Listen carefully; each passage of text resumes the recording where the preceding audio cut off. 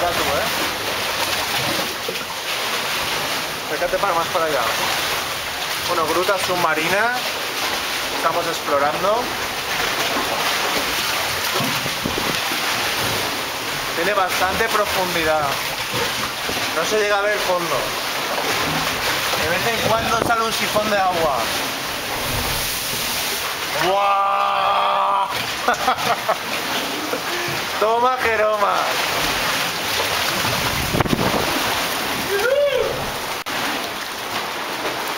Me quito el sombrero.